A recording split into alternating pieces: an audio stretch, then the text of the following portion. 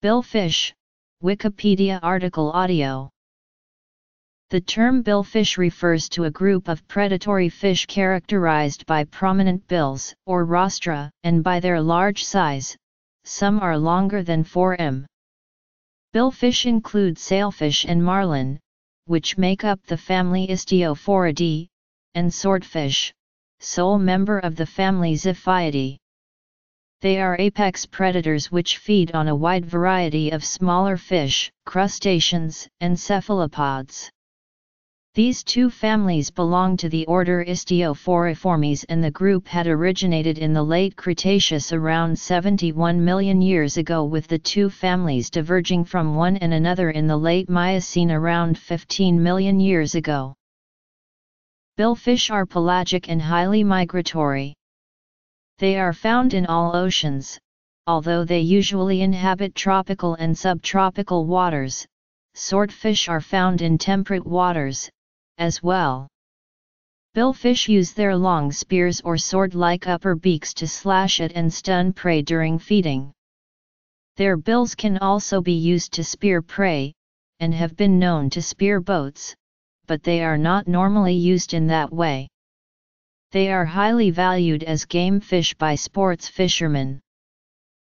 Species True billfish The term billfish refers to the fishes of the families Xiphiidae and Istiophoridae.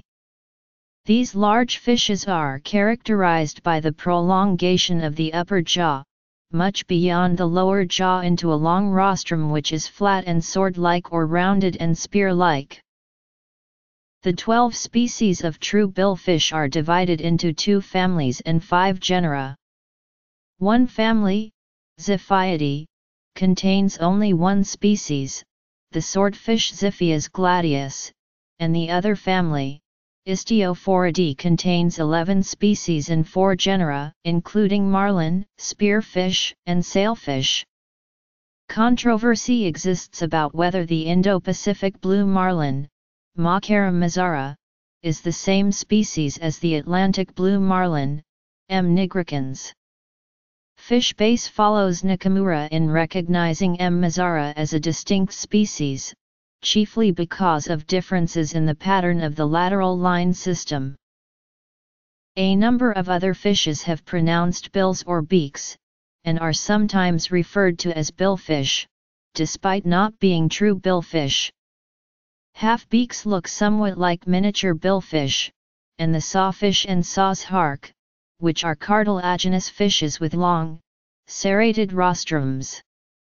Needlefish are sometimes confused with billfish, but they are easily distinguished from the true billfish by having both jaws prolonged, the dorsal and anal fins both single and similar in size and shape, and the pelvic fins inserted far behind the pectorals. Paddlefish have elongated rostrums containing electroreceptors that can detect weak electrical fields. Paddlefish are filter feeders and may use their rostrum to detect zooplankton. Billfish have a long, bony, spear-shaped bill, sometimes called a snout, beak, or rostrum. The swordfish has the longest bill, about one-third its body length. Like a true sword, it is smooth, flat, pointed, and sharp. The bills of other billfish are shorter and rounder, more like spears. Billfish normally use their bills to slash at schooling fish. They swim through the fish school at high speed, slashing left and right, and then circle back to eat the fish they stunned. Adult swordfish have no teeth, and other billfish have only small file-like teeth. They swallow their catch whole, head first. Billfish don't normally spear with their bills, though occasionally a marlin will flip a fish into the air and bayonet it. Given the speed and power of these fish, when they do spear things the results can be dramatic. Predators of billfish, such as great white and mako sharks, have been found with billfish spears embedded in them. Pelagic fish generally are fascinated by floating objects, and congregate about them. Billfish can accidentally impale boats and other floating objects when they pursue the small fish that aggregate around them. Care is needed when attempting to land a hooked billfish. Many fishermen have been injured, some seriously, by a billfish thrashing its bill about. Billfish-like fish Billfish are large swift predators which spend most of their time in the epipelagic zone of the open ocean. They feed voraciously on smaller pelagic fish, crustaceans, and small squid. Some billfish species also hunt demersal fish on the seafloor, while others descend periodically to mesopelagic depths. They may come closer to the coast when they spawn in the summer. Their eggs and larvae are pelagic, that is they float freely in the water column. Many grow over 3 meters long, and the blue marlin can grow to 5 meters. Females are usually larger than males. Like scombroids, billfish have both the ability to migrate over long distances, efficiently cruising at slow speeds, and the ability to generate rapid bursts of speed. These speed bursts can be quite astonishing, and the Indo-Pacific sailfish has been recorded making a burst of 68 miles per hour, nearly top speed for a cheetah and the highest speed ever recorded for a fish. Structure and function of the bill Some billfish also descend to considerable mesopelagic depths. They have sophisticated swim bladders which allow them to rapidly compensate for pressure changes as the depth changes. This means that when they are swimming deep, they can return swiftly to the surface without problems. Like the large tuna, some billfish maintain their body temperature several degrees above ambient water temperatures. This elevated body temperature increases the efficiency of the swimming muscles, especially during excursions into the cold water below the thermocline. In 1936 the British zoologist James Gray posed a conundrum which has come to be known as Gray's paradox. The problem he posed was how dolphins can swim and accelerate so fast when it seemed their muscles lacked the needed power. If this is a problem with dolphins it is an even greater problem with billfish such as swordfish, which swim and accelerate faster than dolphins. In 2009, Taiwanese researchers from the National Chung-Ching University introduced new concepts of kidnapped airfoils and circulating horsepower to explain the swimming capabilities of swordfish. The researchers claim this analysis also solves the perplexity of dolphins' gray paradox. They also assert that swordfish use sensitive rostrum slash lateral line sensors to detect upcoming slash ambient water pressure and attain the best attack angle to capture the body lift power aided by the forward biased dorsal fin to compensate for most of the water resistance power. Billfish have prominent dorsal fins. Like tuna, mackerel, and other scombroids, billfish streamline themselves by retracting their dorsal fins into a groove in their body when they swim. The shape, size, position, and color of the dorsal fin varies with the type of billfish, and can be a simple way to identify a billfish species. For example, the white marlin has a dorsal fin with a curved front edge and is covered with black spots. The huge dorsal fin, or sail of the sailfish is kept retracted most of the time. Sailfish raise them if they want to herd a school of small fish, and also after periods of high activity, presumably to cool down. Other characteristics Billfish occur worldwide in temperate and tropical waters. They are highly migratory oceanic fish, spending much of their time in the epipelagic zone of international water following major ocean currents. Migrations are linked to seasonal patterns of sea surface temperatures. They are sometimes referred to as rare event species because the areas they roam over in the open seas are so large that researchers have difficulty locating them. Little is known about their movements and life histories, so assessing how they can be sustainably managed is not easy. Distribution and migration Unlike coastal fish, billfish usually avoid inshore waters unless there is a deep drop-off close to the land. Instead, they swim along the edge of the continental shelf where cold nutrient-rich upwellings can fuel large schools of forage fish. Billfish can be found here, cruising and feeding above the craggy bottom like hawks soaring along a ridge line. Commercial fishing in parts of the Pacific and Indian Ocean such as the Maldives, bill fishing, particularly for swordfish, is an important component of subsistence fishing. Billfish are among the most coveted of big game fish, and major recreational fisheries cater to the demand. In North America, the apex of the saltwater pursuits is bill fishing, the quest for elusive blue marlin and sailfish in the deep blue water about 60 miles out.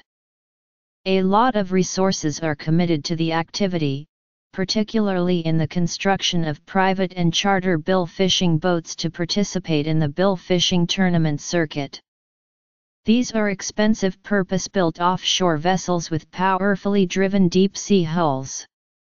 They are often built to luxury standards and equipped with many technologies to ease the life of the deep-sea recreational fishermen, including outriggers, flying bridges, and fighting chairs, and state-of-the-art fish finders and navigation electronics.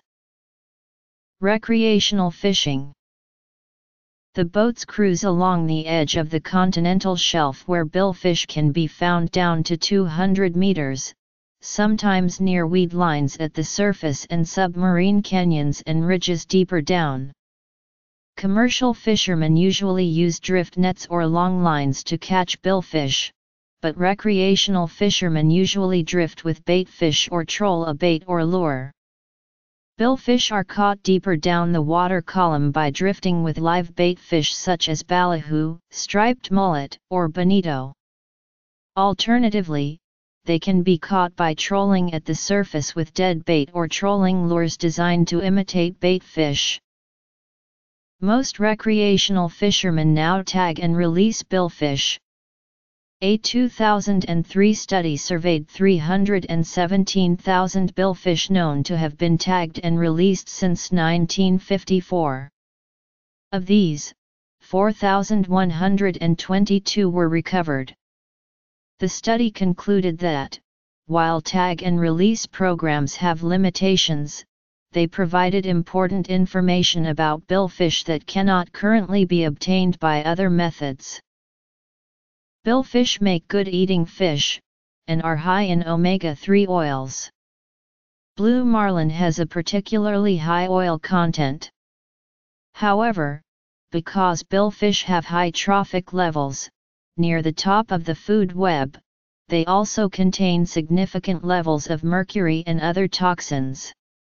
According to the United States Food and Drug Administration, swordfish is one of four fishes, along with tilefish, shark, and king mackerel, that children and pregnant women should avoid due to high levels of methylmercury found in these fish and the consequent risk of mercury poisoning.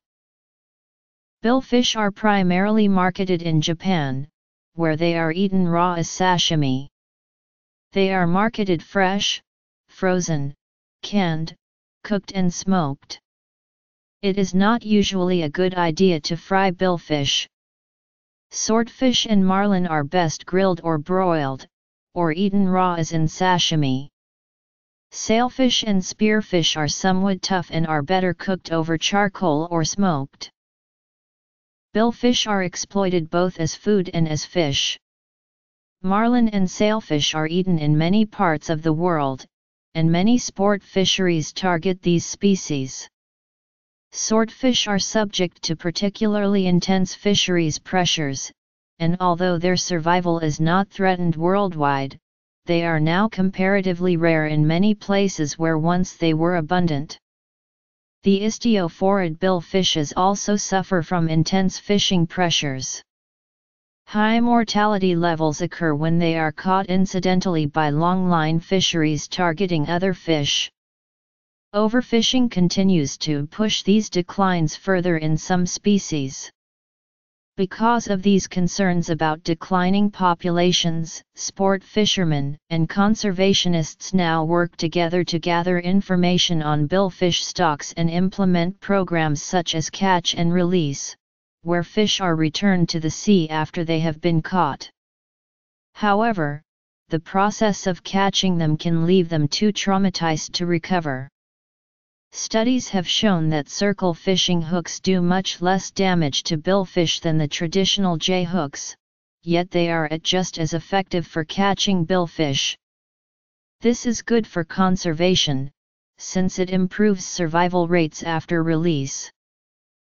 As food the stocks for individual species in billfish longline fisheries can boom and bust in linked and compensatory ways.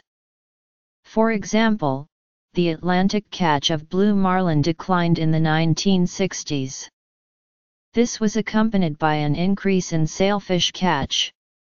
The sailfish catch then declined from the end of the 1970s to the end of the 1980s, compensated by an increase in swordfish catch.